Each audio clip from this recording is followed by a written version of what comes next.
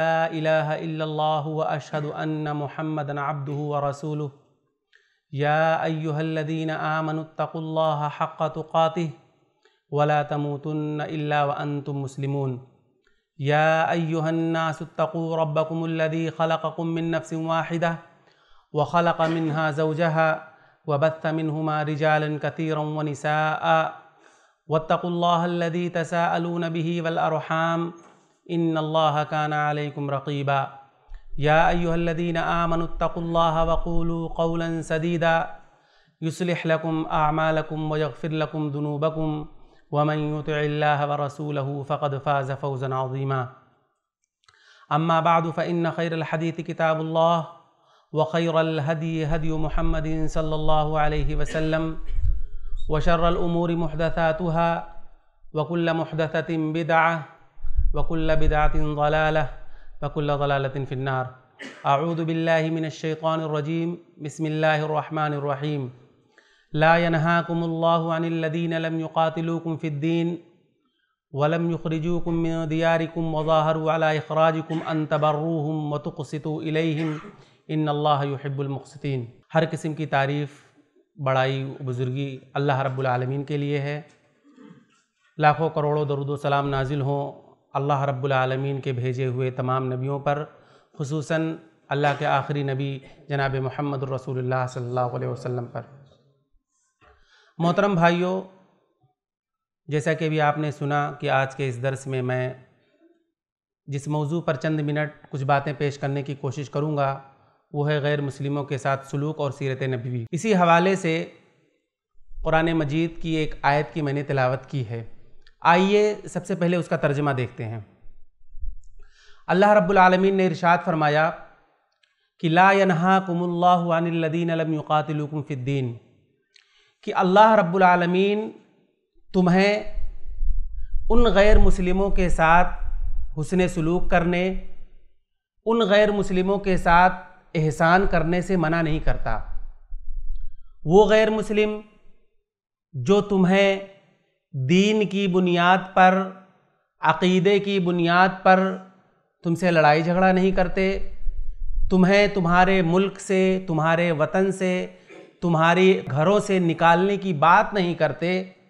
ऐसे गैर मुस्लिमों के साथ इंसाफ करने, ऐसे गैर मुस्लिमों के साथ हुसन सलूक करने से अल्लाह रब्बुल आलमीन तुम्हें मना नहीं करता। अल्लाह ने कहा, अन तबर्रूहम वतुक़सितु इलैहिम। इन अल्लाह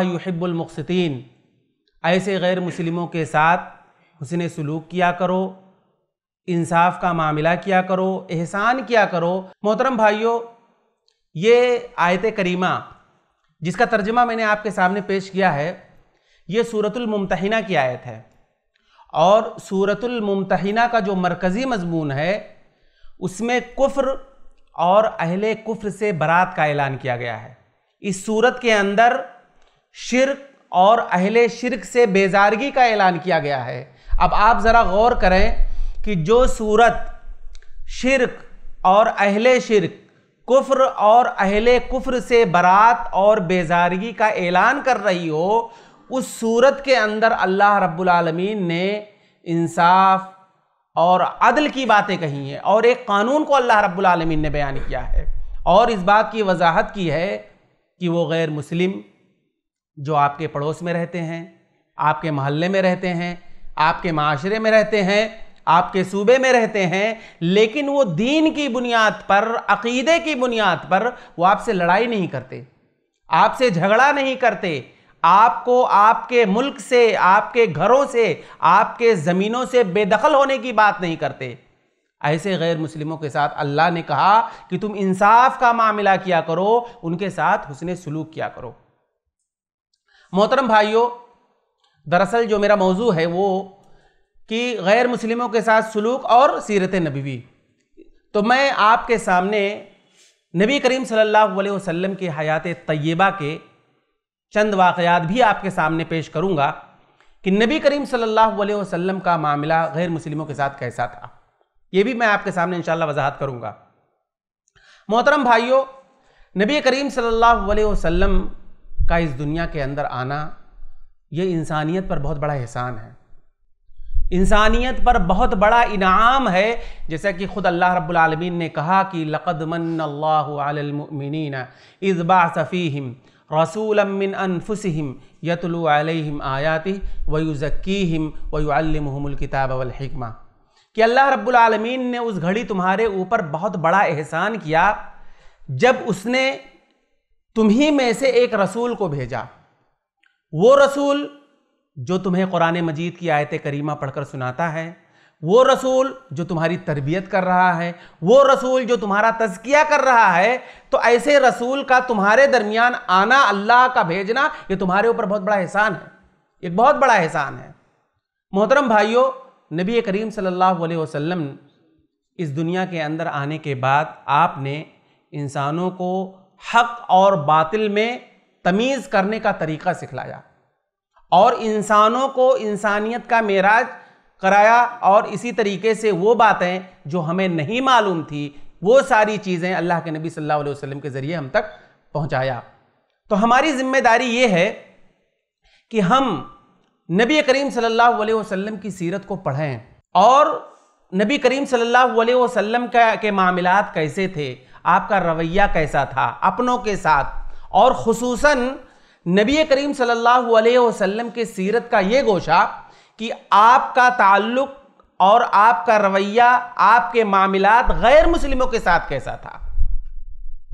नबी करीम सल्लल्लाहु अलैहि वसल्लम मक्का के अंदर थे, वहाँ भी गैर मुस्लिम थे। तो नबी करीम सल्लल्लाहु अलैहि वसल्लम का रवैया मुशरकिन मक्का के साथ कैसा था? मदीना के यहूद के साथ कैसा था? नजरान के नसारा के साथ कैसा था? ये सारी बातें हमारे लिए जानना अजहद ज़रूरी है। क्यों? क्योंकि हिंदुस्तान जैसे ममालिक के अंदर हम मुसलमान अकलीत की हैसियत से गैर मुस्लिम अक्सरियत के दरमियान रहते हैं। ऐसी सूरत हाल में हमारी ज़िम्मेदारी ये बनती है कि हम नबी करीम सल्लल्लाहु अलैहि वसल्लम के सीरत के इस गोशे को बार बार पढ़ें, ताकि मुल्क व मिलत की तामीर में हम अपना रोल अदा कर सकें और समाज और माशरे को और अपने मुल्क को, अपने सूबे को, हम अमन वाला मुल्क अमन वाला सूबा अमन वाला मोहल्ला अमन वाला समाज बना सकें। इसी हवाले से आज के इस दर्स में चंद बातें मैं आपके सामने पेश करने की कोशिश करूँगा। मोहतरम भाइयों, नबी करीम सल्लल्लाहु अलैहि वसल्लम, नबी बनाए जाने के बाद आपने सबसे पहले गैर मुस्लिमीन से अपने ताल्लुकात को मज़बूत किया। नबी करीम सल्लल्लाहु अलैहि वसल्लम गैर मुस्लिमों से मुलाकात करते थे, आप उनसे मिलते जुलते थे और इसी तरह से अल्लाह के नबी सल्लल्लाहु अलैहि वसल्लम को अगर कोई गैर मुस्लिम बुलाता था तो आप उसके घर तशरीफ़ भी ले जाया करते थे। आप उसके यहाँ मेहमान बनते थे। अल्लाह के नबी सल्लल्लाहु अलैहि वसल्लम को कोई भी गैर मुस्लिम दावत देता था तो आप सल्लल्लाहु अलैहि वसल्लम उसकी दावत को कबूल करते थे। यहाँ तक कि आप अगर पढ़ेंगे, सीरत की किताबें आप पढ़ें, अल्लाह के नबी वसल्लम के सीरत के हवाले से कि अल्लाह के नबी सल्लल्लाहु अलैहि वसल्लम ने गैर मुस्लिमों के साथ मिलकर तिजारत भी किया, आपने कारोबार भी किया। अबू दाऊद की एक रवायत है कि अल्लाह के नबी सल्लल्लाहु अलैहि वसल्लम को एक यहूदी ने दावत दिया, खाने पर बुलाया। अल्लाह के नबी सल्लल्लाहु अलैहि वसल्लम उस यहूदी की दावत पर लब्बैक कहते हुए आप उसके घर तशरीफ़ ले गए। अब उस यहूदी की शरारत कहिए, या उस यहूदी की गुर्बत नादारी कहिए कि उसने नबी करीम सल्लल्लाहु अलैहि वसल्लम के सामने जो खाना रखा था, जो खाना पेश किया, आपको जो खाना दिया वो सालन जो नबी करीम सल्लल्लाहु अलैहि वसल्लम के सामने वो लाकर रखा था, वो सालन खराब हो चुका था। लेकिन नबी करीम सल्लल्लाहु अलैहि वसल्लम का तवाज़ो देखिए, आपका अखलाक देखिए कि अल्लाह के नबी सल्लल्लाहु अलैहि वसल्लम ने उस रोटी को उसी सालन से खाया जो सालन खराब हो चुका था। लेकिन अल्लाह के नबी सल्लल्लाहु अलैहि वसल्लम ने उस खाने में ऐब नहीं निकाला। ना आपने उस ताल्लुक से उस सालन जो खराब हो चुका था, वो खाना जो खराब हो चुका था, जो आपके सामने पेश किया गया था, आप सल्लल्लाहु अलैहि वसल्लम ने उस पर तबसरा तक नहीं किया। ये कौम यहूद, जो नहायत ही बदबख्त कौम और बहुत ही शरारती कौम, कुरान में बहुत सारे मकाम पर अल्लाह रब्बुल आलमीन ने इसकी मजम्मत बयान की है।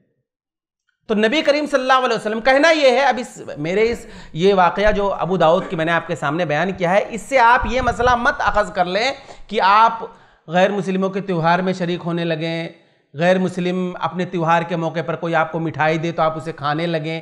यहाँ मैं आम बात कर रहा हूँ, यानी कि गैर मुस्लिमों के त्यौहार में आप नहीं शरीक हो सकते। गैर मुस्लिमों के जैसे दिवाली है, होली है, रक्षाबंधन है, या और कोई भी त्यौहार है, आप उसमें नहीं शरीक हो सकते। अगर वो आपको दावत देगा आप नहीं जा सकते। अगर वो आपको खाना ला करके आपके घर पे देता है या मिठाई ला करके देता है, आप नहीं खा सकते। वो आपके लिए जायज़ नहीं है। मैं एक आम बात कर रहा हूँ, उमूमी बात कर रहा हूँ। यहाँ तक कि अल्लाह के नबी सल्लल्लाहु अलैहि वसल्लम के बारे में आता है कि आप सल्लल्लाहु अलैहि वसल्लम गैर मुस्लिमों में अगर कोई शख्स बीमार हो जाता था तो आप उसकी अयादत के लिए उसके घर तशरीफ़ ले जाया करते थे। एक यहूदी नौजवान बीमार हो गया। अल्लाह के नबी सल्लल्लाहु अलैहि वसल्लम उसकी अयादत के लिए तशरीफ़ ले गए। आप सल्लल्लाहु अलैहि वसल्लम जब उसके घर पर गए, आपने उस बच्चे को, उस नौजवान को अल्लाह के नबी सल्लल्लाहु अलैहि वसल्लम ने देखा जो बिस्तर पर लेटा हुआ था, अल्लाह के नबी सल्लल्लाहु अलैहि वसल्लम को ऐसा लगा कि शायद ये चंद मिनटों का मेहमान है। आपको ऐसा लगा, अल्लाह के नबी सल्लल्लाहु अलैहि वसल्लम फ़ौरन उसको कलमे की तलकीन करने लगे। आप उसे समझाने लगे और कहने लगे कि कलमा पढ़ लो। अब वो यहूदी नौजवान, उसका बाप भी वहीं खड़ा हुआ है। अब वो अल्लाह के नबी सल्लल्लाहु अलैहि वसल्लम के चेहरे की तरफ़ देख रहा है, फिर उसके बाद अपने बाप के चेहरे की तरफ़ देख रहा है। बार बार वो ऐसा कर रहा है, उसका बाप समझ गया। तो उसके बाप ने अपने बेटे से कहा, अते आबल कासिम, यानी तुम मोहम्मद सल्लल्लाहु अलैहि वसल्लम की बात मान लो उसके बाप को उतना ही कहना ही था कि फ़ौरन वो यहूदी बच्चा उसने फ़ौरन कलमा पढ़ लिया। और जैसे ही वो कलमा पढ़ा, अल्लाह के नबी सल्लल्लाहु अलैहि वसल्लम फरमाते हैं कि फ़ौरन उसकी रूह निकल गई। अल्लाह के नबी सल्लल्लाहु अलैहि वसल्लम बाहर आते हैं और आप कहते हैं, अल्हम्दुलिल्लाहिल्लज़ी अनक़ज़हु बी मिनन्नार कि तमाम तारीफ़ उस अल्लाह रब्बुल आलमीन के लिए है कि जिसने इस यहूदी बच्चे को मेरे ज़रिए जहन्नम की आग से बचा लिया। आप देखिए, ताल्लुक का फ़ायदा हुआ कि नहीं फ़ायदा हुआ? अल्लाह के नबी सल्लल्लाहु अलैहि वसल्लम ने गैर मुस्लिमों से ताल्लुकात को मज़बूत किया। आप उनसे मिलते जुलते थे, आप उनके यहाँ आते जाते थे। अगर कोई बीमार हो जाता था तो इयादत करते थे। और मैं आपको बताऊँ कि अल्लाह के नबी सल्लल्लाहु अलैहि वसल्लम जिस यहूदी नौजवान की अयादत के लिए जब वो बीमार हो गया था, उसके घर पे गए थे, वो कौन था? वो अल्लाह के नबी सल्लल्लाहु अलैहि वसल्लम का गुलाम था। आप सल्लल्लाहु अलैहि वसल्लम ने उस यहूदी बच्चे को अपनी खिदमत के लिए रखा था। आपको ताज्जुब होगा, क्या सहाबे कराम रज़ी अल्लाह तजमैन अल्लाह के नबी वसल्लम की खिदमत के लिए काफ़ी नहीं थे? अल्लाह के नबी सल्लल्लाहु अलैहि वसल्लम का एक हुक्म आ जाता। अल्लाह के नबी सल्लल्लाहु अलैहि वसल्लम को कोई ज़रूरत पड़ जाती तो सहाबे के राम में मक्का के सहाबा हों मदीना के सब उमड़ पड़ते थे अल्लाह के नबी सल्लल्लाहु अलैहि वसल्लम की खिदमत के लिए। हमेशा मौजूद रहते थे अल्लाह के नबी सल्लल्लाहु अलैहि वसल्लम के इर्द गिर्द लेकिन आखिर क्या ज़रूरत थी? आखिर क्या वजह थी? ये चीज़ हमें बार बार सोचने की ज़रूरत है। बार बार गौर करने की ज़रूरत है कि क्या वजह थी कि अल्लाह के नबी सल्लल्लाहु अलैहि वसल्लम ने अपनी खिदमत के लिए एक गैर मुस्लिम को रखा। एक यहूदी को रखा। यह बात हमें सोचने की ज़रूरत है, गौर करने की ज़रूरत है। यहाँ तक कि आप देखें कि वो जो बच्चा और वो जो नबी करीम सल्लल्लाहु अलैहि वसल्लम की खिदमत किया करता था, ये फहरिस्त तैयार करने वाले जो अल्लाह के नबी सल्लल्लाहु अलैहि वसल्लम के खादिमीन की जो फहरिस्त तैयार करते हैं, जहाँ पर बड़े बड़े सहाबा का नाम है, उस लिस्ट के अंदर, उस लिस्ट में इस यहूदी का भी नाम आपको मिलेगा। तो कहना यह है कि ये मैं आपको के सामने वाक़ क्यों बयान कर रहा हूँ?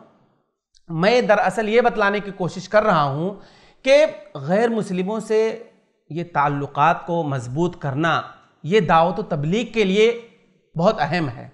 इसलिए कि ये दावत तबलीग में ताल्लुकात ताल्लुकात को मज़बूत करना, ताल्लुकात को कायम करना दावत तबलीग के लिए यह हमारे लिए बहुत आसानी हो जाएगा।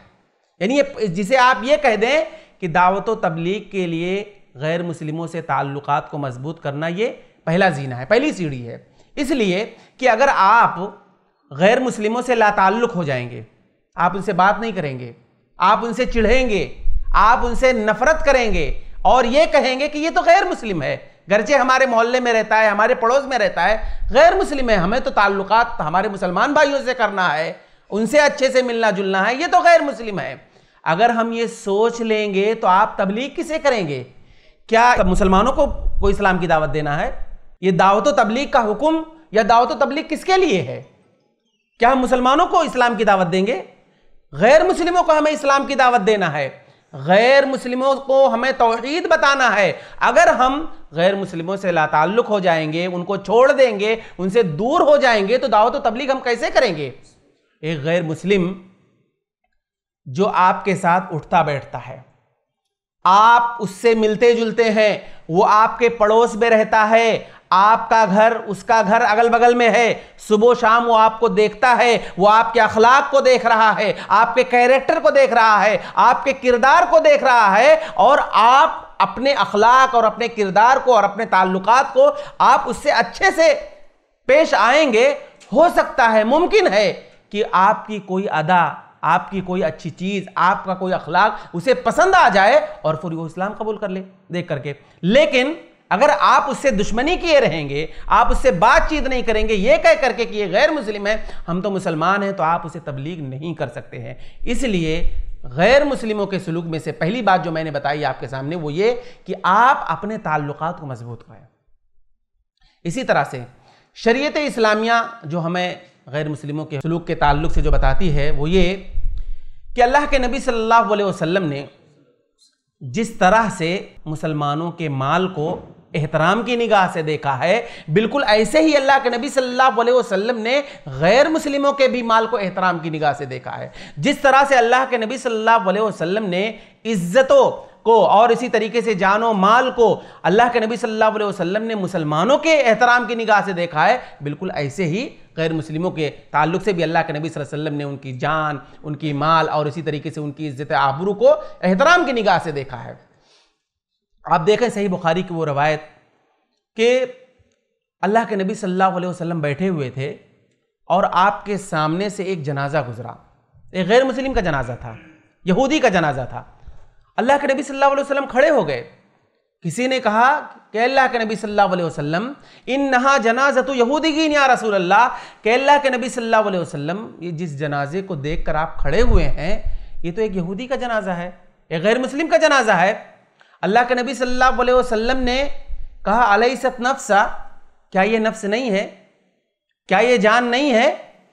फिकही एतबार से गरचे ये अमल मनसूख हो चुका है। यानी कि अगर किसी मुसलमान का जनाजा आप भी यहाँ से गुजरे तो आप नहीं खड़े हो सकते। ये अमल मनसूख है। अल्लाह के नबी वसल्लम, ये मनसूख होने से पहले की बात है कि अल्लाह के नबी वसल्लम वहाँ खड़े हुए थे। लेकिन गरचे ये अमल मनसूख है, लेकिन अल्लाह के नबी सल्लल्लाहु अलैहि वसल्लम अलैसत नफ्सा कह करके क़यामत तक आने वाले तमाम लोगों को यह पैगाम दिया है कि नफ्स नफ्स होता है। जान जान होती है। और अल्लाह के नबी सल्लल्लाहु अलैहि वसल्लम ने यह बतलाने की कोशिश की है यहाँ पर कि हर शख्स, हर मुसलमान, हर इंसान की जान और उसकी इज़्ज़त व आबरू अल्लाह के नबी सल्लल्लाहु अलैहि वसल्लम ने जिस तरह से मुसलमानों के ताल्लुक से आपने एहतराम की निगाह से देखा, बिल्कुल ऐसे ही गैर मुस्लिमों के ताल्लुक से भी आपने ऐसा किया। इसी तरह से एक हदीस है, अल्लाह के नबी सल्लल्लाहु अलैहि वसल्लम ने कहा कि मन कतला मुआहिदन, लम यरह राय जन्ना। व इन नरी लयू जदुबिन मसीरत अरबईन आमन कि जिसने किसी मुआहिद को कत्ल किया। अब मुआहिद किसे कहते हैं? माहिद उस गैर मुस्लिम को कहा जाता है, जो वीज़ा ले करके किसी इस्लामी मुल्क में सफ़र करने के लिए चला गया हो। या इसी तरह से वो गैर मुस्लिम जो टैक्स दे करके इस्लामी मुल्क में रहता हो, उसको माहिद कहा जाता है। अल्लाह के नबी सल्लल्लाहु अलैहि वसल्लम ने कहा कि मन कतला मुआहिदन कि जिसने किसी माहिद को कत्ल किया, यानी ऐसे गैर मुस्लिम को कत्ल किया, जो वीज़ा लेकर के इस्लामी मुल्क में गया था, उसको वहाँ मार दिया गया, या इसी तरीके से वो टैक्स दे करके रह रहा था, लेकिन उसे कत्ल कर दिया गया। अल्लाह के नबी वसल्लम ने कहा, लम यरहतल जन्ना तो ऐसा कत्ल करने वाला जो मुसलमान है, जिसने कत्ल किया है, वो जन्नत की खुशबू तक नहीं पाएगा। वही नरी हा हा लयू जदूबी मसीरत अरबाइन आमन के और जन्नत की खुशबू को ताल्लुक से अल्लाह के नबी वसल्लम ने कहा कि वो चालीस साल पहले से ही आपको उसकी खुशबू आने लगेगी। तो गोया कि आप ज़रा देखें, इस हदीस पर गौर करें, और इसी हवाले से मैं आपको एक वाक़ बताता हूँ, सरिय बिर मऊना का वाक़ कि नबी करीम सल्लल्लाहु अलैहि वसल्लम के पास कुछ यहूदी झूठा ही इस्लाम कबूल करके या बेवकूफ़, ऐसे ही मतलब इस्लाम का लिबादा ओढ़ करके उन लोगों ने इस्लाम कबूल नहीं किया था, अल्लाह के नबी सल्लल्लाहु अलैहि वसल्लम के पास आते हैं और कहते हैं कि हमारे कबीले के लोगों ने इस्लाम कबूल कर लिया है। तो आप हमें कुछ ओलमा भेज दीजिए ताकि वो उनकी तरबियत कर सकें, उन्हें इस्लाम की तालीमत और सारी चीज़ें बता सकें। अल्लाह के नबी सल्लल्लाहु अलैहि वसल्लम उनके बातों में आ करके सत्तर ओलमाए सहाबा जो कुरान के हाफिज थे, अल्लाह के नबी सल्लल्लाहु अलैहि वसल्लम ने उन्हें उनके साथ रवाना कर दिया, भेज दिया। अब वहाँ उस गाँव में पहुँचने से पहले उन लोगों ने मिल करके उन तमाम सहाबे कराम को कत्ल कर दिया।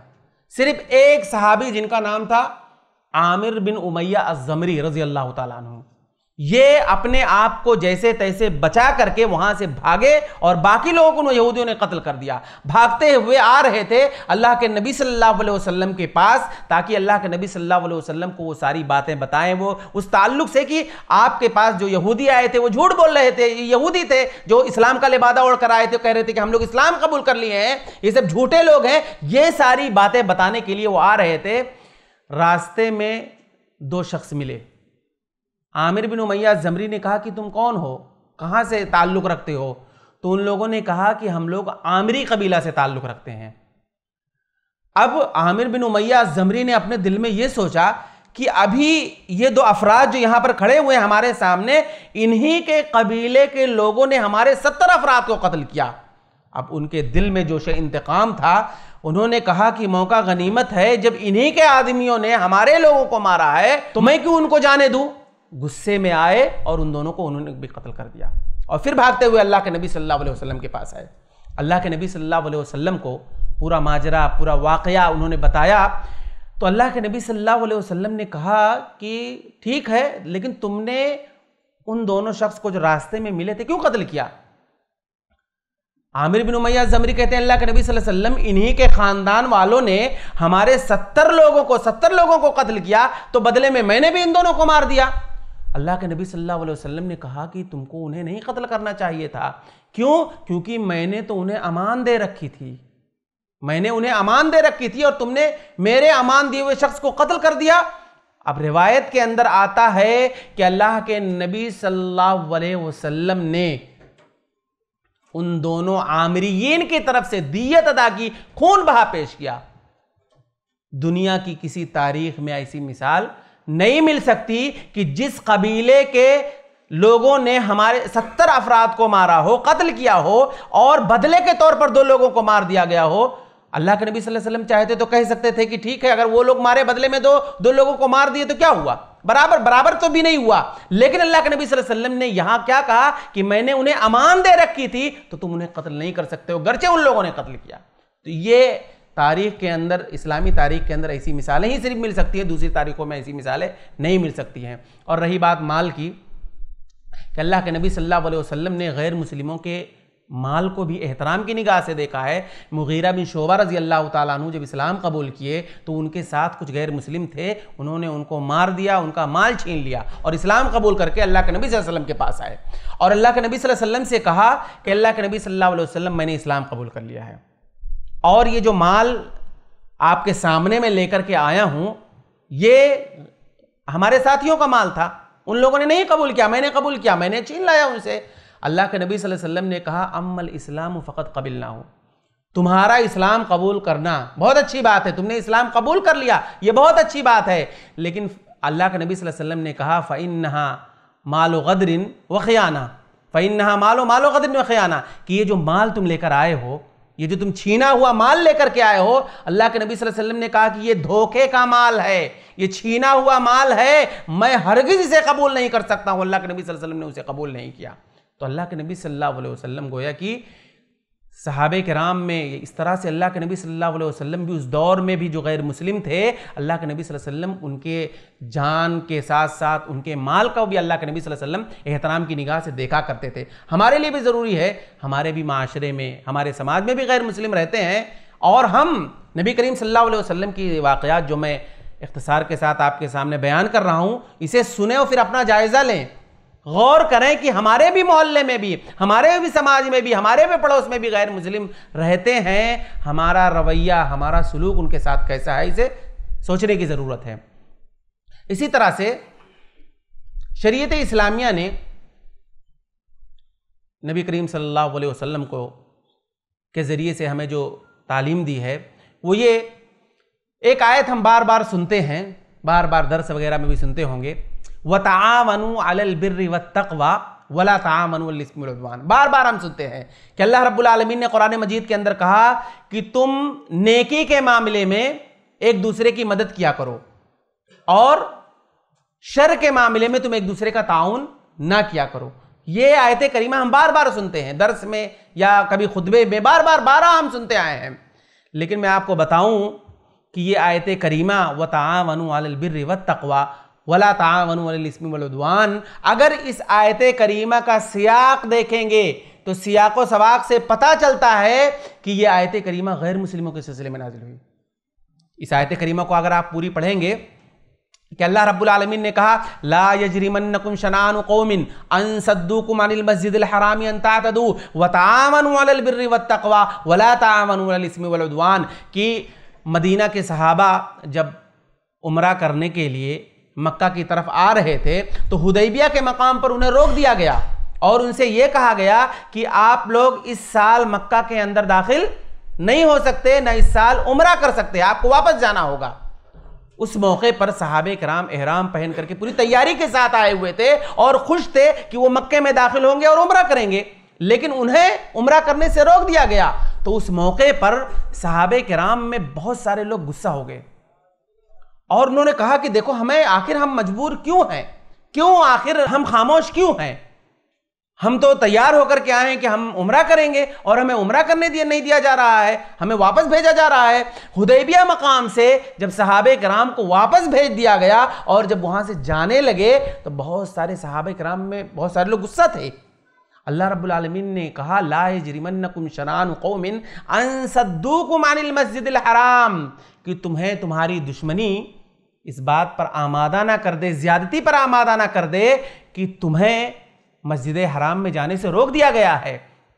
फिर उसके बाद अल्लाह रब्बुल आलमीन ने कहा, व तामनबिर व तकवा वला तामनवान कि नेकी के मामले में तुम ताउन करो उनका और शर के मामले में, बुराई के मामले में तुम उनका ताउन ना किया करो। कई एक मुफसरीन ने इस आयत करीमा की तफसीर अगर आप पढ़ेंगे तो आपको पता चलेगा, कई एक मुफसरीन ने इस बात की वजाहत की है कि इस आयत करीमा से जो बात हमें पता चलता है कि गैर मुस्लिमों के साथ मिल कर के हम रिफाही काम भी कर सकते हैं।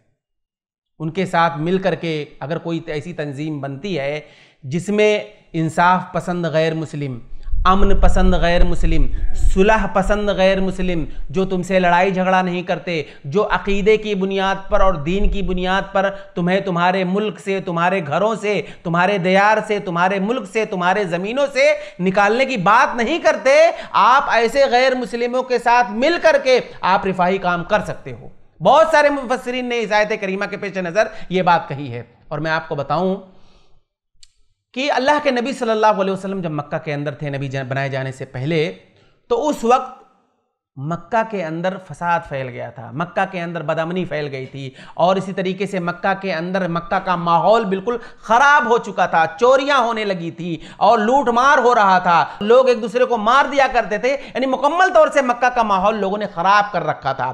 तो ऐसे मौके पर कुछ लोग उठ खड़े हुए और उन लोगों ने कहा कि हम एक ऐसी तंजीम बनाएँगे जिसके मातहत हम मक्का के माहौल को पुरान बनाएँगे। यहाँ पर जो चोर लोग हैं, उनको उनके हाथ को हम पकड़ेंगे और जो जालिम लोग हैं, जो लोगों पर जुल्म करते हैं, एक दूसरे को मारते हैं, मक्का का माहौल खराब करते हैं, ऐसे लोगों पर हम रोक लगाएँगे। जब इस हवाले से आवाज़ उठाई गई और बहुत सारे लोग इस आवाज़ को सुन करके जमा हुए और उन्होंने कहा कि मतलब हाँ हम मिलकर के काम करेंगे। अल्लाह के नबी सल्लल्लाहु अलैहि वसल्लम तक जब ये बात पहुँची तो अल्लाह के नबी सल्लल्लाहु अलैहि वसल्लम ने भी उस तंजीम के लिए आपने वहाँ पर बढ़ चढ़ के अपना ताउन पेश किया। यानी उन गैर मुस्लिमों के साथ। अल्लाह के नबी सल्लल्लाहु अलैहि वसल्लम ने देखा कि मक्का के अंदर एक अच्छा काम हो रहा है। जुल्म को रोकने की बात कही जा रही है। चोरियाँ ज़्यादा हो रही हैं। जो माहौल खराब हो चुका है, मक्का के अंदर जो बदामनी फैल गई है, इन तमाम चीज़ों को रोकने के लिए, रोकथाम के लिए अगर आवाज़ उठाई जा रही है और ये एक अच्छा काम है तो अल्लाह के नबी सल्लल्लाहु अलैहि वसल्लम ने बढ़ चढ़कर अपना ताउन पेश किया उन गैर मुस्लिमों के साथ। और सीरत की किताबों में उस तंजीम का नाम हिल्फुल फजूल के नाम से जाना जाता है। उसका नाम है हिल्फुल फजूल। अब आप एतराज़ कर सकते हैं, सवाल कर सकते हैं कि ये जो वाक़ आप बयान कर रहे हो, ये तो नबी बनाए जाने से पहले की बात है। अल्लाह के नबी सल्लल्लाहु अलैहि वसल्लम जब नबी नहीं बनाए गए थे, तब आपने हिल्फुल फजूल में बढ़ चढ़ करके हिस्सा लिया, गैर मुस्लिमों का ताउन किया, आप उनके साथ जुड़े। ये तो नबी बनाए जाने से पहले की बात है तो आप क्यों बयान कर रहे हो अभी? तो मैं आपको यह बताऊँगा कि नबी करीम सल्लल्लाहु अलैहि वसल्लम की ज़िंदगी हमारे लिए आइडियल है, उसवा है, नमूना है, नबी बनाए जाने से पहले की भी ज़िंदगी और नबी बनाए जाने के बाद तो है ही है। क्यों? उसकी वजह यह है कि अल्लाह के नबी सल्लल्लाहु अलैहि वसल्लम जब मक्का के अंदर तबलीग करते थे, दावत देते थे, कुफार मक्का आपकी बात नहीं मानते थे तो उस मौके पर अल्लाह के नबी सल्लल्लाहु अलैहि वसल्लम नबी बनाए जाने से पहले की ज़िंदगी को 40 साल ज़िंदगी को बतौर दलील पेश करते थे। और कुरान मजीद के अंदर अल्लाह रब्बुल आलमीन ने यही बात कही है कि अल्लाह के नबी सल्लल्लाहु अलैहि वसल्लम ने कुफार से उस मौके पर कहा था जब आपका इनकार लोग करते थे, फ़कद लबिस्तुफ़ीकुम उमरमिन कबल ही कि मैंने अय लोगो अय मक्का के लोगो, मैंने अपनी किताबें, अपनी ज़िंदगी के चालीस औराक, मेरी ज़िंदगी के चालीस औराक तुम्हारे सामने मेरी ज़िंदगी के चालीस साल तुम्हारे सामने है। अब उस ज़िंदगी के अंदर कोई दाग दिखा दो, कोई धब्बा दिखा दो, कोई ऐब दिखा दो, कोई कमज़ोरी दिखा दो, बतौर दलील अल्लाह के नबी सल्लल्लाहु अलैहि वसल्लम पेश किया करते थे। ये तो हुई एक बात। और दूसरी बात ये कि अल्लाह के नबी सल्लल्लाहु अलैहि वसल्लम नबी बनाए जाने के बाद जब आपको वो वाक़ याद आता था कि एक मौके पर जब आवाज़ उठाई गई थी, एक मौके पर अल्लाह के नबी सल्लल्लाहु अलैहि वसल्लम ने गैर मुस्लिमों के साथ उस तंजीम में हिस्सा लिया था, आपने उनका ताउन किया था, जिससे मक्का का माहौल अच्छा हो गया था तो अल्लाह के नबी सल्लल्लाहु अलैहि वसल्लम ने तमन्ना भी ज़ाहिर किया। और आपने कहा कि अगर आइंदा भी इस तरह की कोई ज़रूरत पेश आई या रिफाही काम के ताल्लुक से या कोई अच्छे काम के ताल्लुक से, अगर गैर मुस्लिम ही क्यों ना सही, अगर वही लोग उठेंगे और अच्छे लोग होंगे अच्छा काम करेंगे तो मैं उनके साथ अपना ताउन फिर दूँगा। ये नबी करीम सल्लल्लाहु अलैहि वसल्लम ने तमन्ना ज़ाहिर की थी। तो इससे हमें पता चलता है कि गैर मुस्लिम जो अमन पसंद, सुलह पसंद हों आपसे लड़ाई झगड़ा नहीं करते हों और तासुब और आपसे असबियत ना रखते हों, अच्छे लोग हों, ऐसे लोगों के साथ मिलकर किया जा सकता है। ये नबी वसल्लम की तालीम है। इसी तरह से गैर मुस्लिमों के सलूक के हवाले से नबी करीम सल्लल्लाहु अलैहि वसल्लम ने जो हमें तालीम दी है, वो ये कि गैर मुस्लिम जो आपके पड़ोस में रहता है, आपके मोहल्ले में रहता है, या किसी मौके पर कोई गैर मुस्लिम ने आपके ऊपर कोई एहसान कर दिया हो आपकी ज़िम्मेदारी यह है कि आप उसके एहसान का बदला चुका दिया करो। एहसान का बदला एहसान से दिया करो। हल जजाउल एहसान एहसान। एहसान का बदला एहसान के सिवा क्या हो सकता है? अल्लाह के नबी सल्लल्लाहु अलैहि वसल्लम के बारे में आप देखें कि जब मक्का के अंदर थे और मक्का के अंदर अल्लाह के नबी वसल्लम ने जब अलल ऐलान, दावत तबलीग शुरू किया तो अल्लाह के नबी सल्लल्लाहु अलैहि वसल्लम और सहाबे कराम का बाइकाट कर दिया गया। साहब कराम और नबी करीम सल्लल्लाहु अलैहि वसल्लम को शेब अबी तालिब के अंदर मैसूर कर दिया गया। उनका मुकम्मल तौर से बाईकाट कर दिया गया कि अब मुसलमानों से ना कोई लेन देन करेगा, ना इनसे कोई खरीदो फरोख्त करेगा, ना इनसे कोई बात करेगा। यानी मुकम्मल तौर से तीन साल तक क्या है? साहब कराम और नबी वसल्लम को बाईकाट कर दिया गया। उस वक्त मुसलमानों की हालत बहुत ख़राब हो चुकी थी। साद बिन नबी वक्स रज़ी अल्लाह तु बयान करते हैं कि उस मौके पर हमारे पास खाने की कोई चीज़ नहीं रहती थी। जब बहुत ज़्यादा भूख लगती थी तो उस वक्त हम खजूर के पत्ते को खा करके अपनी ज़िंदगी जीते थे। वही खा खा करके ज़िंदगी बसर करते थे। और हमारी जो बैंगनियाँ होती थी, यानी जो टॉयलेट वगैरह करते थे तो बिल्कुल जानवरों की जैसे होती थी। यानी ये हालत हो गई थी। उस मौके पर मुतम बिन आदि नामी एक शख्स जो मक्का का उस वक्त सरदार था उसने अपने चंद काफिरों को, को बुलाया और जमा किया और उसने कहा कि देखो ऐसा है कि जिन लोगों का बाइकाट तुम लोगों ने किया है उन काफिरों से कहा कहा जिनका बाइकाट तुम लोगों ने किया है और अपने से दूर किया है ये तो तुम्हारे खानदान के लोग हैं। हमारे अपने ही लोग हैं, मक्का के ही लोग हैं, हमारे खानदान के लोग हैं, बस इख्तलाफ अकीदे में है और इस्लाम की बात वो लोग करते हैं। इस्लाम का फिर मसला है, लेकिन अगर देखा जाए तो हमारे ही खानदान के हैं, मक्का के ही लोग हैं तो क्यों ना मैं ये चाहता हूँ कि इस बाइकाट को ख़त्म कर दिया जाए। और जैसे पहले ये लोग रहते थे, फिर उस तरह से रहने लगे। तो ये मुतीम बिन अदी अपने चंद साथियों के साथ खड़ा हुआ और वो मक्का के काफिर लोगों ने जो उनको बाइकाट कर दिया था, बाइकाट के ख़त्म होने का ऐलान कर दिया। तो ये एक एहसान था मुतीम बिन अदी का, जो उसने नबी करीम अलैहि वसल्लम पर किया था। इसी तरह से अल्लाह के नबी सल्लल्लाहु अलैहि वसल्लम जब मक्का से ताइफ चले गए, और वहाँ पर आपने सोचा कि मैं जाकर के वहाँ तबलीग करूँ, वहाँ लोगों को दीन इस्लाम की बात बताऊँ, लेकिन ताइफ का वाक्य बहुत मशहूर है, आप सुने, बारह सुने होंगे कि ताइफ वालों ने भी अल्लाह के नबी वसल्लम की बात नहीं मानी और इसी तरीके से आपको परेशान किया। अल्लाह के नबी सल्लल्लाहु अलैहि वसल्लम मजबूर हो गए ताइफ से निकल करके दोबारा मक्का आने के लिए। पहले आप ताइफ गए, फिर आपने इरादा किया कि दोबारा फिर मक्का के अंदर आ जाएँ। जब मक्का के काफिरों को पता चला कि नबी करीम सल्लल्लाहु अलैहि वसल्लम ताइफ से फिर वापस आना चाहते हैं तो उन लोगों ने क्या किया? मक्का की जो बाउंड्री थी, उसका जो, उसको बॉर्डर को सील कर दिया। कहा कि नबी सल्लल्लाहु अलैहि वसल्लम के बारे में कि अब ये मक्का के अंदर दाखिल नहीं हो सकते, क्योंकि ये चले गए, अभी ताइफ चले गए तो अब यहाँ मक्का के अंदर नहीं आ सकते हैं। और अल्लाह के नबी वसल्लम मक्का में आना चाहते थे तो उस मौके पर मुतीम बिन अदी जो काफिर शख्स था, वो फिर खड़ा हुआ। मक्का का सरदार था। उसने कहा कि मैं अपना शख्सी पनाह देता हूँ, ज़ाती पनाह में मैं मोहम्मद सल्लल्लाहु अलैहि वसल्लम को दोबारा मक्का लाना चाहता हूँ। अबू चूँकि सरदार था, उसने ऐलान किया और अपने ज़ाती शख्सी पनाह की बात जब उसने किया तो मक्का वाले खामोश हो गए और वो नबी करीम सल्लल्लाहु अलैहि वसल्लम जब ताइफ से लौटे तो अल्लाह के नबी सल्लल्लाहु अलैहि वसल्लम का दाखिला उसने कराया। तो ये दो एहसान था मुतिम बिन आदि का जो उसने नबी करीम सल्लल्लाहु अलैहि वसल्लम के ऊपर किया था। अल्लाह के नबी सल्लल्लाहु अलैहि वसल्लम हिजरत करके मदीना चले गए। और उसके बाद जंग बदर जब हुआ और जंग बदर के अंदर जब मुसलमानों और काफिरों के दरमियान जो मुठभेड़ हुआ और इसी तरीके से पूरी जंग लंबा वाक़ है तो उस मौके पर जो सत्तर कैदी मुसलमानों के हाथ लगे थे, अल्लाह के नबी सल्लल्लाहु अलैहि वसल्लम ने उस मौके पर जब आपने देखा कि ये सत्तर कैदी जो काफिर हैं, मुसलमानों के हाथ लगे हैं, अल्लाह के नबी वसल्लम को मुतीम बिन नदी की अचानक याद आ गई। और अल्लाह के नबी सल्लल्लाहु अलैहि वसल्लम ने कहा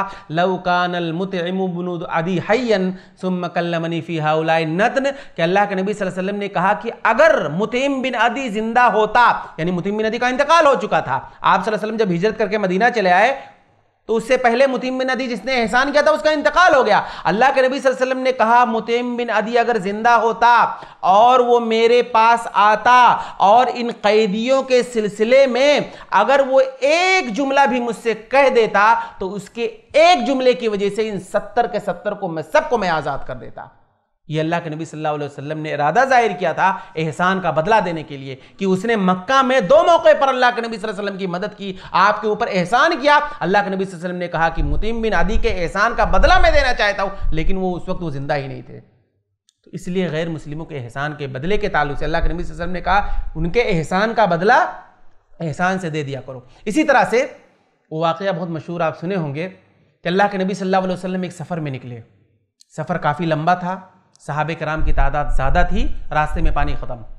पानी नहीं है पीने के लिए। साहब कराम प्यासे हैं, पीने की ज़रूरत है, हो सकता है किसी को नहाने की भी ज़रूरत है, और कपड़ा भी, लंबा सफ़र है, ज़ाहिर सी बात है, पानी की ज़्यादा ज़रूरत है। परेशान है, पानी ही नहीं है, क्या करें? अल्लाह के नबी वसल्लम ने साहब कराम में दो लोगों को भेजा कि जाओ, कहीं से पानी अगर मिले तो लेकर के आओ। वो लोग निकले, देखा कि एक मुशरिका औरत एक मुश्किज़े में पानी लेकर जा रही थी, एक मटके में। उन्होंने उससे मांगा कि हमें पानी की ज़रूरत है प्यास बहुत ज़्यादा लगी है, दे दो। उस मुशरिका औरत ने अपना पूरा मटका उठा के दे दिया कि ले जाकर के पी लो। वो लेकर के अल्लाह के नबी सल्लल्लाहु अलैहि वसल्लम के पास वो सहाबी लेकर आए, अल्लाह के नबी सल्लल्लाहु अलैहि वसल्लम ने देखा, अब ज़ाहिर सी बात है, छोटा सा मटका और पीने वालों की तादाद तकरीबन सौ से ज़्यादा साहब कराम थे। अल्लाह के नबी सल्लल्लाहु अलैहि वसल्लम ने अपने उंगली को उस मुश्किज़े के अंदर डाला और अल्लाह के नबी सल्लल्लाहु अलैहि वसल्लम के उंगली मुबारक से चश्मा फूटा। और इस कदर पानी निकला कि अल्लाह के नबी सल्लल्लाहु अलैहि वसल्लम ने सहाबे कराम में से कहा कि जिसको पीने की ज़रूरत है वो पी ले, जो पीना चाहता है वो पी ले, जिसको नहाने की ज़रूरत है वो नहा ले, जिसको पानी शोर करना है, जमा करना है कर ले। सारे सहाबा तकरीबन सौ से जायद सहाबे कराम थे। सब लोगों ने अपनी अपनी ज़रूरतें पूरी की, जिसको नहाना था नहाए, जिनको पीना था पिए, जिनको जमा करना था पानी जमा किए, सब कुछ हो गया यानी पूरी मुकम्मल तौर से। फरागत के बाद अल्लाह के नबी सल्लल्लाहु अलैहि वसल्लम ने उस औरत को वही भरा हुआ मटका पानी आपने रिटर्न कर दिया, जर्रा बराबर उसके मटके में से पानी पानी के अंदर जर्रा बराबर कमी नहीं आई। उसके बाद जब वो जाने लगी तो अल्लाह के नबी सल्लल्लाहु अलैहि वसल्लम ने सहाबे कराम से कहा कि ये औरत जो तुम्हें ऐन वक्त पे तुम प्यासे थे, हम प्यासे थे, इसने तुम्हारी मदद की है पानी दे करके तो इसकी उजरत तो दे दो, इसका बदला दे दो। अब साहब कराम में जिन जिन लोगों के पास जो कुछ था, किसी के पास खजूर था, किसी के पास सत्तू का आटा था, या किसी के पास और कुछ था, जिनके पास जो कुछ था, सब थोड़ा थोड़ा जमा करके उस औरत के हवाले कर दिया। वो इतना खुश हुई, गई अपने गाँव के अंदर वो सामान लेकर के वो ये देख रही है कि जितना पानी मेरा था, जितना मैंने दी थी, मुझे तो उतना रिटर्न कर दिए। पानी तो पिए ही नहीं। और फिर मुझे इतना साजो सामान भी मुझे दिया गया। वो जाती है अपने गाँव के अंदर, अपने गाँव वालों से कहती है, जी, इतकुम मिन दिया सारी नाज कि अय लोगों आए मेरे गाँव वाले, अपने घर वालों से उन लोगों से कहती है कि मैं एक बहुत बड़े जादूगर के पास से आ रही हूँ। उसने मोजे को जादू समझ लिया। मोजे को जादू समझ लिया और वो देख रही है कि मतलब इतने कम पानी में इतने सारे लोगों ने इस्तेमाल किया तो वो मोजा वो क्या समझे? वो जादू समझ गई। तो कहना यह है कि अल्लाह के नबी सल्लल्लाहु अलैहि वसल्लम ने तो खैर उसका बदला दिया, लेकिन अल्लाह के नबी सल्लल्लाहु अलैहि वसल्लम ने सहाबे कराम को नसीहत किया, आपने वसीयत किया और सहाबे कराम से कहा कि देखो अय मेरे सहाबा, सुनो इस औरत ने ऐन वक्त पे जब तुम प्यासे थे, हमें पानी की ज़रूरत थी, उस औरत ने पानी के ज़रिए से हमारी मदद की है। तुम लोग आज के बाद कभी इस औरत की बस्ती पर हमला मत करना। यानी अगर काफिरों के दरमियान या कभी मुठभेड़ हुआ या भी कोई मामला आया तो तुम इस औरत के गाँव, जिस गाँव में वो रहती है, उस पर कभी हमला मत करना। अल्लाह के नबी वसल्लम ने साहब कराम को वसीयत की। अब वो औरत कुछ दिन गुजरा, देख रही है कि मुसलमानों और काफिरों के दरमियान झड़प हो रहा है, सब कुछ हो रहा है, एक दूसरे पर हमलाबाजी, हमला कर रहे हैं। लेकिन मेरा गाँव महफूज है। उसके गाँव में कुछ भी नहीं हो रहा है। बहुत सुकून से सब रह रहे हैं। उसको अचानक याद आया और उसने अपने चंद लोगों को, अपने घर वालों को, जो रहते थे आजू बाजू वाले लोगों को बुलाया और उसने कहा कि ये जो मोहम्मद वसल्लम मुझे ऐसा लगता है कि एक मौके पर मैंने इन्हें पानी के ज़रिए से मैंने इनकी मदद कर दी थी, मैंने इनके साथियों को पानी दे दिया था, मुझे ऐसा लगता है कि ये लोग एहसान का बदला चुका रहे हैं। बतौर एहसान, आज वो मेरा गाँव महफूज है, मैं, हमारे गाँव पे हमला नहीं हो रहा है, मुझे ऐसा लगता है कि इसका बदला वो लोग दे रहे हैं। तो उसके गाँव वाले लोगों ने उस औरत से कहा कि जब ये लोग इतने अच्छे हैं एक पानी के एहसान का बदला इस तरह से दे रहे हैं कि तुमको तो जो देना था वो तो दे ही दिए थे। अब हमारा गाँव भी इनकी वजह से महफूज है। हम लोग सुकून से रहते हैं। तो ये बड़े अच्छे लोग हैं। क्यों ना हम लोग इस्लाम कबूल कर लें? रिवायत के अंदर आता है कि पूरा का पूरा गाँव मुसलमान हो गया। पानी के एहसान का बदला। पानी के एहसान का बदला अल्लाह के नबी सल्लल्लाहु अलैहि वसल्लम ने इस कदर चुकाया। इस कदर अल्लाह के नबी वसल्लम ने इस तरह से एहसान का बदला दिया कि आपने सुना भी। पूरा का पूरा गाँव मुसलमान हो गया। तो कहना यह है कि अल्लाह के नबी सल्लल्लाहु अलैहि वसल्लम की जो तालीम है, आप सल्लल्लाहु अलैहि वसल्लम ने हमें गैर मुस्लिमों के सलूक के हवाले से जो तालीम दी है और आपने अमली जामा पहनाया है, वो ये कि गैर मुस्लिमों के एहसान का बदला दे दिया करो। वो अगर तुम पर कोई एहसान करते हैं तो तुम भी उनके साथ एहसान कर दिया करो। शरीत इस्लामिया की तालीम है। इसी तरह से गैर मुस्लिमीन के सलूक के हवाले से शरीत इस्लामिया जो हमें तालीम देती है, वो ये इंसाफ की कि गैर मुस्लिमों के साथ भी हमें इंसाफ करना है। ऐसा नहीं कि मतलब गैर मुस्लिम और मुसलमान में लड़ाई हो गया या कोई मसला आ गया या कोई लड़ाई झड़प हो गई तो हम मुसलमान का साथ दें। ये कह करके कि ये तो मुसलमान है, ये तो हमारा आदमी है। और गैर मुस्लिम अगर उसकी कोई गलती नहीं है और हम उन पर इल्ज़ाम ठोक दें, ये शरीयत इस्लाम इस चीज़ से हमें मना करता है। अल्लाह के नबी वसल्लम की तालीम है कि इनके साथ भी एहसान क्या करो।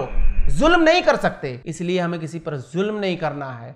हमें इंसाफ करना है, जुल्म नहीं करना है। अल्लाह के नबी सल्लल्लाहु अलैहि वसल्लम के सामने एक यहूदी और एक मुसलमान में किसी बात पर बहस हो गई। कोई मसला था? तो उसने क्या कहा? उस यहूदी ने कि वल्लदिस्तफ़ा मूसा आलमीन, कि तमाम अल्लाह रब्बुल आलमीन इस तरह से उसने कसम खाई अल्लाह रब्बुल की जिसने मेरे नबी को बरगजीदा बनाया। उसने गोया कि मूसा सलाम को क्या है? वहाँ पर फजीलत दिया। अब उस मुसलमान को गुस्सा आ गया और उसने कहा कि, सोचा कि मेरे नबी यानी मोहम्मद वसल्लम मौजूद हैं और मेरे नबी के सामने ये मूसा सलाम की फजीलत की बात कर रहा है, उनकी तारीफ़ कर रहा है। गुस्से में आकर के उस मुसलमान ने उस यहूदी को एक तमाचा लगाया। अब वो यहूदी भागते हुए अल्लाह के नबी वसल्लम के पास आया और कहा कि, देखो नबी वसल्लम को कि तुम्हारे साथी ने मुझे मारा है। अल्लाह के नबी वसल्लम ने उस मुसलमान शख्स को बुलाया और कहा, तुमने क्यों मारा? तो उसने कहा, अल्लाह के नबी वसल्लम, इसने ऐसा कहा वल्लदिस्तफ़ा मुसालबीन अल्लाह के नबी वसल्लम ने कहा तो क्या हुआ? कहने दो। और फिर अल्लाह के नबी सल्लल्लाहु अलैहि वसल्लम ने कहा, ला तो अला मूसा। तुम मुझे मूसा सलाम पर फजीलत मत दो। फिर अल्लाह के नबी वसल्लम ने यह भी कहा कहा कि देखो, जब लोग बेहोश हो जाएँगे और दोबारा जब उठेंगे तो सबसे पहले मैं होश में आऊँगा। जब सब लोग होश में आएँगे तो उसमें सबसे पहले मैं होश में आऊँगा और मैं जब मुझे होश आएगा, मैं खड़ा हूँगा तो देखूँगा कि मूसा सलाम अरश इलाही को थामे हुए हैं। अब मुझे ये नहीं पता कि मूसा सलाम मुझसे पहले होश में आ गए हैं या मूसा सलाम बेहोश ही नहीं हुए, इसलिए कि दुनिया में इससे पहले वो बेहोश हो चुके थे। तो अल्लाह के नबी सल्लल्लाहु अलैहि वसल्लम ने यहाँ पर उस मुसलमान को क्या है, नसीहत किया आपने उसे डांटा, क्या तुम गरचे वो मूसा सलाम की फजीलत की बात गरचे कर रहा है, लेकिन तुम उसे मार नहीं सकते। अल्लाह के नबी वसल्लम तंबी की, यहाँ आपने इंसाफ से काम लिया। इसी तरह से एक वाक़ है तोमा बिन उबैरक नामी शख्स के बारे में कि एक यहूदी और एक मुसलमान आपस में बैठे हुए थे, कुछ सामान रखा था, एक मुसलमान ने चोरी कर लिया। अब जब अल्लाह के नबी सल्लल्लाहु अलैहि वसल्लम ने कहा कि देखो ये सामान जो था, ये किसने चोरी किया? बहुत सारे लोग बैठे हुए थे। कोई कुछ बोल ही नहीं रहा है। अल्लाह के नबी सल्लल्लाहु अलैहि वसल्लम ने कहा कि एक काम करो ना, चेक करो। अभी पता चल जाएगा कि चोरी किसने की है। जिसके बैग में से सामान निकलेगा, वो चोर माना जाएगा। अब उस मुसलमान ने क्या किया? चुपके से वो सामान उठा करके एक यहूदी के बैग में डाल दिया। अब जब शुरू हुआ, चेक शुरू हुआ कि किसके बैग में, चोर कौन है? तो जब उस यहूदी के बैग को लाया गया तो सामान उसमें से निकला। अब अल्लाह के नबी सल्लल्लाहु अलैहि वसल्लम कबल इसके कि उसको चोर मानते। अल्लाह के नबी सल्लल्लाहु अलैहि वसल्लम उस यहूदी को सजा देने की बात करते कि चोरी इसने की है। उससे पहले अल्लाह रब्बुल आलमीन ने एक आयत नाजिल कर दी और कहा, इन्ना अनजलना इलैकल किताब बिल हक़ लितहकुमा बैनन्नास। या नबी सल्लल्लाहु अलैहि वसल्लम ये जो खयानत करने वाले हैं, ये जो चोरियाँ करने वाले हैं, ये जो चोरी कर रहे हैं, आप इनके फेवर में हरगिज हरगिज बात मत करिए। आप अल्लाह रब्बुल आलमीन से इस्तगफार करिए, आप अल्लाह रब्बुल आलमीन से तौबा करिए। गोया कि ये आयत करीमा अल्लाह ने नाजिल करके यहूदी के बरात का ऐलान किया और मुसलमान के चोर होने का ऐलान किया। इस आयत करीमा में ये के ज़रिए से ये बतलाया गया कि ये यहूदी चोर नहीं है, बल्कि क्या है, ये मुसलमान चोर है। अल्लाह के नबी वसल्लम को तंबी किया गया, बताया गया। तो शरीयत इस्लामिया में इंसाफ है। इंसाफ की बात शरीत इस्लामिया में की गई है। हम ये ना सोचें कि भाई गैर मुस्लिम है तो उसके साथ जो चाहो करो, वो भी तो हमारे ऊपर जुल्म करते हैं। ठीक है, हमारे मुल्क का माहौल ख़राब है, अलग बात है। लेकिन ज़रूरी नहीं है कि सारे लोग ऐसे हों। ज़रूरी नहीं है। आप अगर ऐसे गैर मुस्लिम जो आपके मोहल्ले और पड़ोस में रहते हैं तो बहुत सारे गैर मुस्लिम बहुत अच्छे होते हैं। तो ज़रूरी नहीं है कि जो गैर मुस्लिम हमारे पीछे पड़े हुए हैं, हमारे हमारे मुल्क से निकालने की बात करते हैं और जो बहुत सारी बातें करते हैं, ज़रूरी नहीं कि सारे गैर मुस्लिम इस तरह से हो। इसी तरह से शरीत इस्लामिया ने जो हमें गैर मुस्लिम के हवाले से जो तालीम दी है, वो ये कि अगर कोई गैर मुस्लिम जिससे आप कोई वादा किए हों। तो जिस तरह से एक मुसलमान जब किसी से वादा करता है तो उस वादे को निभाता है। तो अल्लाह के नबी वसल्लम ने कहा कि गैर मुस्लिम से अगर कोई तुम वादा करते हो तो तुम उस वादे को निभाया करो। ऐसा नहीं कि गैर मुस्लिम था, हमने बोल दिया बोल दिया, कह दिया। अब वो तो गैर मुस्लिम था, हमको क्या करने का? मुसलमान है, उससे वादा निभाया जाएगा। अल्लाह के नबी वसल्लम ने कहा, गैर मुस्लिम से भी अगर तुम वादा करते हो तो वादा निभाओ। गजब बदर का मौका है। सहाब कराम की तादाद बहुत कम है। और ये जंग चूँकि कोई तैयारी से नहीं हुई थी, अचानक काफिर और मुसलमानों में मुठभेड़ हो गया था। मुसलमानों के पास नाकस तैयारी थी, उनके पास ना कोई असलहा था, ना उनके पास कोई तैयारी थी, ना उनके पास कोई साजो सामान था और तादाद भी कम थी। अब उस मौके पर हुजैफा रज़ी अल्लाह तु और उनके वालिद, ये दोनों अल्लाह के नबी सल्लल्लाहु अलैहि वसल्लम की मदद करने के लिए बद्र के मकाम पर जा रहे थे। अब अबू जहल के जासूसे ने उन्हें पकड़ लिया। अबू जहल ने उस वक्त जासूस फैला रखा था। उनके जासूसों ने पकड़ा और पकड़ करके अबू जहल के पास लेकर के आए उन दोनों को। अबू जहल ने कहा उन दोनों से कि तुम कहाँ जा रहे थे? अब वो लोग जान बचाने के लिए डर की वजह से झूठ बोल दिए कि हम लोग मदीना जा रहे थे। अबू जहल ने कहा कि सच सच बताओ, क्या तुम लोग मदीना जा रहे थे? उन दोनों ने कहा कि हाँ हम सच बोल रहे हैं कि हम लोग मदीना जा रहे थे, जबकि वो लोग बदर जाने वाले थे। अबू जहल ने कहा कि तुम वादा करो, अभी इसी वक्त वादा करो कि तुम बद्र के मकाम पर अपने साथियों की मदद करने के लिए नहीं जाओगे। तब मैं वादा मुझसे करोगे, तब मैं तुम्हें छोड़ूँगा। उन दोनों ने कहा कि ठीक है, हम वादा करते हैं कि हम बद्र के मकाम पर बद्र नहीं जाएँगे, हम मदीना जाएँगे। अबू जहल ने जब वादा ले लिया, उसके बाद उन दोनों को छोड़ दिया। अब जैसे ही उन लोगों को छोड़ा, भागते हुए बद्र के मकाम पर पहुँच गए। अल्लाह के नबी वसल्लम के पास आए और अल्लाह के नबी वसल्लम से कहा कि देखो, ऐसा ऐसा मामला था, हमको पता चला, हम आपकी मदद करने के लिए आना चाहते थे, रास्ते में अबू जहल ने पकड़ा, उसके जासूसों ने, ऐसा ऐसा हुआ। अल्लाह के नबी सल्लल्लाहु अलैहि वसल्लम ने कहा कि तुम वादा कर चुके थे, अबू जहल से तुमने वादा किया है कि तुम मदीना जाओगे, हमारे पास नहीं आओगे। उन दोनों ने कहा कि हाँ अल्लाह के नबी वसल्लम, हमने तो वादा कर लिया है। कि हम आ, मदीना जाएँगे यहाँ आपके पास नहीं आएँगे। तो अल्लाह के नबी वसल्लम ने कहा तुमने अबू जहल से वादा कर लिया है अब अपने वादे को पूरा करो जाओ यहाँ से निकल जाओ। तुम दोनों हमारे साथ नहीं रह सकते हो वादे को पूरा करो अल्लाह इनके खिलाफ हमारी मदद करेगा। मुसलमान जंग अल्लाह रब्बुल आलमीन पर तवक्ल करने से जीतता है। तुम जाओ, अल्लाह के नबी वसल्लम ने, अब आप देखें, मुसलमानों की तादाद इतनी कम है, तकरीबन 313 या 319 या 317 यही इसी तरह इतना ही थे।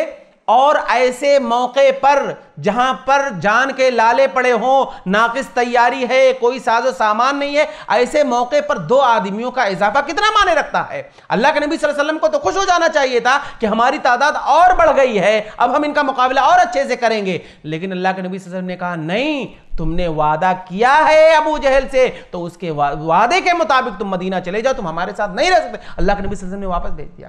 तो ये वादा करना गैर मुस्लिमों से अल्लाह के नबी वसल्लम ने कहा कि अगर तुम वादा करो तो उसे पूरा करो। इसी तरह से हमारे यहाँ एक बात जो कही जाती है, हो सकता है कि ये बात कुछ हद तक सही भी हो कि अलकुफ़ार जो काफिर होते हैं, उन पर एतबार नहीं कभी किया जा सकता है। या हमारे साथ कभी भी धोखा दे सकते हैं, या हम, हमें कभी भी हम नुकसान पहुँचा सकते हैं, क्योंकि मुल्क का जो माहौल चल रहा है, इस एतबार से कुछ हद तक ये बात सही हो सकती है, लेकिन कुल्ली तौर पर यह चीज़ दुरुस्त नहीं है। क्यों नहीं है कुल्ली तौर पर दोस्त? मैं आपको एक वाक्य सुनाता हूँ। काफिरों में भी बहुत सारे लोग ऐसे होते हैं जो उनको सिर्फ़ अपने काम से मतलब होता है।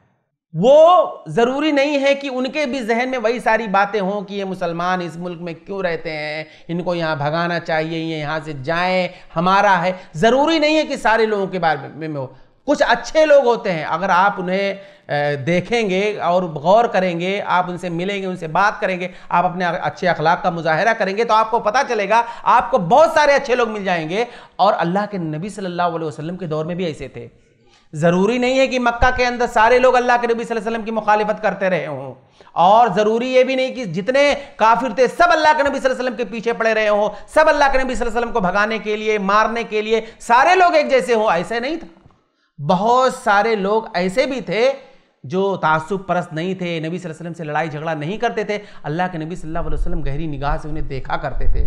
आप सल्लल्लाहु अलैहि वसल्लम कद्र की निगाह से उन्हें देखा करते थे, आप वसल्लम उनकी इज़्ज़त क्या करते थे? मैं आपको बताऊँ एक वाक़ हिजरत जैसा नाजुक मौका।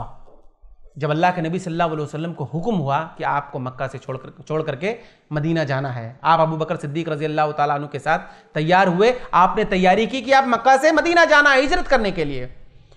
उस वक्त जब नबी करीम सल्लल्लाहु अलैहि वसल्लम और आपके साथी हज़रत अबू बकर सिद्दीक रज़ी अल्लाह तु जब निकले थे तो उस वक्त काफिरों ने जो ऐलान किया था कि जो इस वक्त मोहम्मद और उनके साथी को पकड़ करके हमारे पास लेकर के आएगा, उसको हम सौ सुर्ख ऊँट इनाम में देंगे।